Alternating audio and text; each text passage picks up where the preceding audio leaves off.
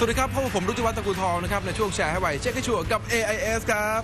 คุณผู้ชมครับเมื่อเข้าสู่ฤดูฝนนะครับสิ่งที่หลายคนกลัวกันก็คงหนีไม่พ้นเรื่องของฟ้าร้องฟ้าผ่านะครับโดยเฉพาะอย่างยิ่งความเชื่อที่บอกว่าห้ามเล่นโทรศัพท์มือถือในขณะที่ฝนตก เพราะจะทำให้เกิดฟ้าผ่าได้นั้น ยิ่งทำให้เราต้องระมัดระวังมากขึ้นอีกด้วยนะครับ ล่าสุดนะครับในโลกออนไลน์ได้มีการแชร์ภาพเหตุการณ์เหตุการณ์หนึ่งนะครับที่มีฟ้าผ่าลงบนบ้านหลังหนึ่ง โดยอ้างว่าเกิดจากการที่ผู้พักอาศัยนั้นเล่นโทรศัพท์มือถือขณะฝนตก จนทำให้มีผู้เสียชีวิต 3 ราย สร้างความตกอกตกใจเป็นอย่างมากเลยนะครับ เฮ้ย เรื่องนี้มันจริงเหรอเนี่ย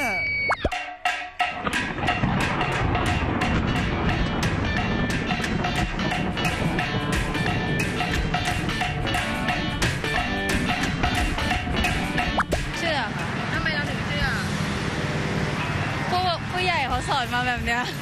เป็นความเชื่อไปแล้วค่ะ เชื่อครับเชื่อ เชื่อทำไมถึงเชื่อแต่หนูก็เห็นข่าวออกเยอะอะแล้วแบบแค่ขนาดแบบที่ชาร์จแบตบางทีชาร์จแบตไปเล่นไปมันยังระเบิดเลยอะแล้วแบบไม่กล้าเสี่ยงอะฟ้าผ่าช่วงนี้มีข่าวบ่อยอะหนูไม่เชื่อ ทำไมถึงไม่เชื่อ ก็คือมันไม่น่าเกี่ยวกับอะไรอะโทรศัพท์อะคือมันน่าจะแบบว่า คือมันขึ้นอยู่กับว่าเราเล่นแบบกลางแจ้งอะไรอย่างงี้ด้วยถ้าแบบเล่นในบ้านไม่น่าจะเป็นอะไร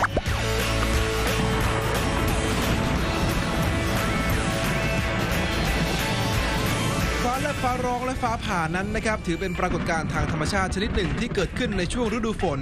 โดยเฉพาะปรากฏการณ์ฟ้าผ่า ซึ่งเกิดจากการปล่อยประจุไฟฟ้าออกมาจากเมฆฝนฟ้าขนอง เมื่อเกิดขึ้นก็จะเป็นอันตรายต่อทั้งคนและสัตว์ รวมถึงสิ่งมีชีวิตอื่น ๆ ที่อยู่บนพื้นดิน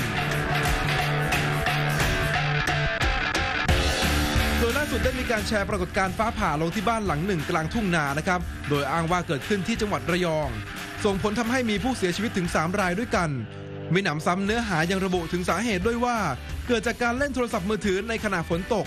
ซึ่งภาพดังกล่าวนี้ได้สร้างความตกอกตกใจแก่ผู้คนในโลกออนไลน์เป็นจำนวนมาก แต่หลังจากนั้นไม่นานครับ นักวิชาการชื่อดังก็ได้ออกมาชี้แจงว่า ภาพที่กำลังเผยแพร่อยู่นั้น ไม่ได้เกิดขึ้นที่จังหวัดระยอง แต่เป็นเหตุการณ์ที่เกิดขึ้นในต่างประเทศ โดยมีหลักฐานอ้างอิงชัดเจน และที่สำคัญยังบอกอีกด้วยว่า การเล่นโทรศัพท์มือถือในขณะฝนตกนั้น ไม่ได้มีส่วนทำให้เกิดฟ้าแลบเลยแม้แต่น้อย เพราะสัญญาณโทรศัพท์มือถือไม่ได้ล่อฟ้า โดยเป็นเพียงความเชื่อต่อๆกันมาเท่านั้นครับ ห็นว่าภาพที่แชร์ไปเนี่ยมันดูน่าสงสัยนะครับจะเห็นว่าเป็นภาพที่ค่อนข้างสวยเลยว่าเป็นลักษณะเหมือนท้องทุ่งแล้วก็มีฟ้ากำลังผ่าอยู่เนี่ยครับเออในโลกความจริงเราไม่สามารถจะถ่ายรูปมันได้ง่ายๆอย่างนั้นอยู่ๆก็รอดชีวิตมาได้ก็มีคนแอบเห็นการที่มีฟ้าผ่าก็เลยถ่ายทับทันซึ่งจริงไม่ง่ายครับภาพอย่างนี้ต้องเป็นช่างกล้องที่เขาพยายามตั้งกล้อง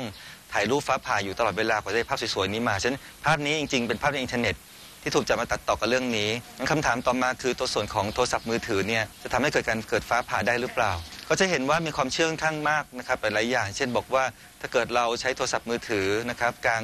สายฝนเนี่ยหรือว่าที่เป็นฝนพรำๆเนี่ยครับจะล่อฟ้าผ่าได้นะครับก็มีการทดสอบทางด้านวิศวกรรมไฟฟ้านะครับมีการให้เอาโทรศัพท์มือถือไปวางในเครื่องนะครับที่มีการทำฟ้าผ่าจำลองนะครับระหว่างโทรศัพท์ธรรมดา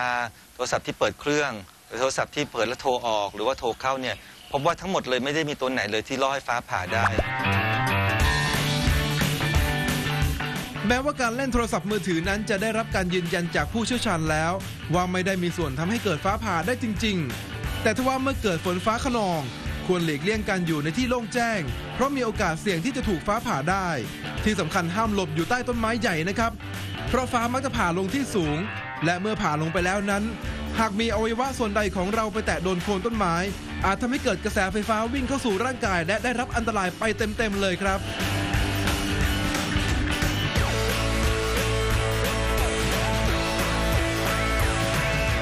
จากผลการศึกษาเนี่ยครับทำให้เรารู้ว่าจริงๆโทรศัพท์มือถือไม่ได้ล่อฟ้าผ่านะครับแต่ว่าสิ่งที่เกิดขึ้นเป็นอย่างนี้ครับคนจำนวนมากที่ถูกฟ้าผ่าเนี่ยอาจจะมีการถือหรือว่าพกพาโทรศัพท์มือถือไปด้วย แล้วพอถูกฟ้าผ่าไปแล้วเนี่ยฮะตัวเครื่องโทรศัพท์เนี่ยมันก็รับไฟฟ้าไปด้วย ก็เกิดการช็อตมีการระเบิดหรือไม่ขึ้นมาเนี่ยครับคนไม่คนไม่เข้าใจคนไปเห็นก็นึกว่าตัวโทรศัพท์มือถือเนี่ยมันล่อฟ้าได้ โอ้โห รู้อย่างนี้แล้วค่อยสบายใจขึ้นหน่อยนะครับ เรื่องของภัยธรรมชาตินั้นเป็นสิ่งที่เราไม่สามารถคาดการได้นะครับ ว่าจะเกิดขึ้นเมื่อไหร่ ทางที่ดีครับ เมื่อเกิดฝนตกฟ้าร้องก็ไม่ควรอยู่ในที่โล่งแจ้งนะครับควรอยู่ในที่ที่ปลอดภัยน่าจะดีที่สุดครับ เพราะฉะนั้นนะครับการเล่นโทรศัพท์มือถือขณะฝนตกเสี่ยงทำให้เกิดฟ้าผ่า ข้อมูลนี้ไม่ถูกต้องไม่ต้องแชร์ครับ ขอขอบคุณ A I